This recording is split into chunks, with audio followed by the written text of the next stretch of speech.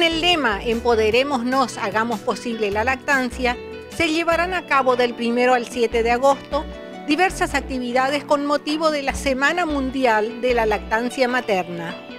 El Hospital Materno Neonatal Eloísa Torrente Vidal será el lugar de realización de las mismas, estando previsto el acto de apertura el 1 de agosto a las 9 horas. Habrá charlas, actividades de difusión, disertaciones de profesionales, entrega de diplomas y distinciones, entre otras acciones. Agradecemos la invitación a la psicomotricista Clarice Svedenyuk.